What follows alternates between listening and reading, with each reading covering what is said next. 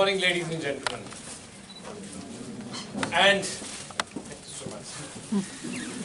I thank all the dignitaries who've spoken in front of me and before me, and all my friends, my colleagues, and of course, all my students. It's been an interesting journey for all of us. At some point or the other, we all got to wear this white coat. But the point is, what does it signify? How did it come about? I am here to talk just a little bit about that. I know all of you are impatient to get yours. I'll take you back in history. Till about the 19th century, um, medicine was all about a little bit of quackery, a little bit of shamanism, a little bit of, if I can use the Hindi words, jhag hook, which happens even today, a lot about jari booty, uh, some of it which happens even today.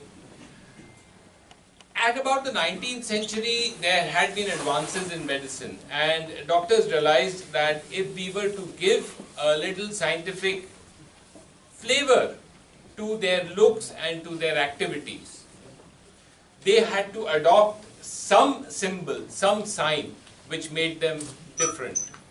At that time, scientists were coming up, they were being respected, there were advances in chemistry, there were advances in physics. And interestingly, most of those people working in laboratories used to wear this white coat. So doctors probably at that time, to show that they were indulging in scientific medicine, started wearing white coats. And it slowly was adopted all over the world and it became a symbol of medicine as it is today. The white coat ceremony as such was started in 1993 in USA in a medical school in Columbia. So you can understand that when we joined college in our time, that just gives you my age, we didn't have the white coat ceremony. We just wore the, this thing. As our dean has mentioned, all our students have worked extremely hard. You were overachievers in school, you worked extremely hard, you took your coaching or you did not take your coaching, you fought, you got your seats in the NEET, you got a rank, and then you got a college seat. And finally, you got yourself admission into this college. The white coat ceremony symbolizes only one thing today that it is an acceptance by your teachers into the brotherhood of medical professionals. You can call it a rite of passage. You can call it a change in your status. As such, today, students are lay persons.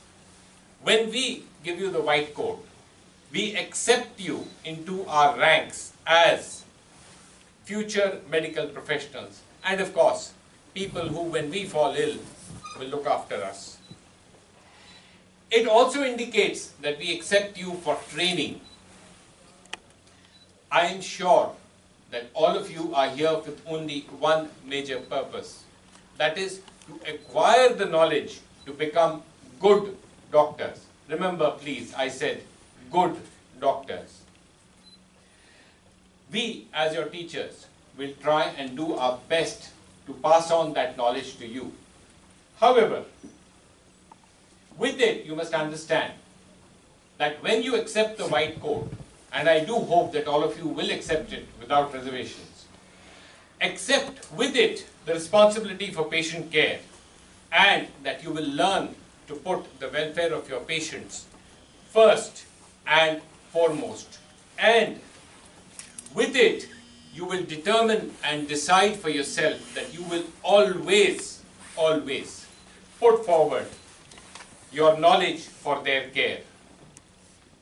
The white coat represents the first crucial step on a very long journey which all our dignitaries have referred to, whether it be starting your MBBS and then going for um, the USMLE has been mentioned, or to do your post-graduation, and of course, to work and to be a lifelong learner and teacher. The white coat ceremony today just represents the first step towards that journey. It did, it has been said, the journey of a thousand miles begins with but a single step. Today is that first step. For my students especially, I want you to look to your left and then I want you to look to your right. These are your peers, these are your friends, these are your colleagues. Unfortunately, because of the COVID, all of you know that your families cannot be here. You may take us as your extended family for the time being. When you wear the white coat, it is in front of your peers, that is your fellow students, your teachers, and of course your families, that you swear to uphold and you decide to uphold all the principles in medicine. Remember, as has been mentioned, when you become a doctor, you acquire the capability to do good for your community, to drive change, to become good teachers. You have to keep that central thought in your mind all the time. One more important thing that I would like to tell all of you. When you put on your white coat and you walk, you represent yourself. You represent the college.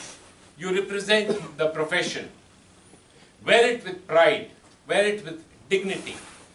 And don't do anything which will bring a bad name to the profession.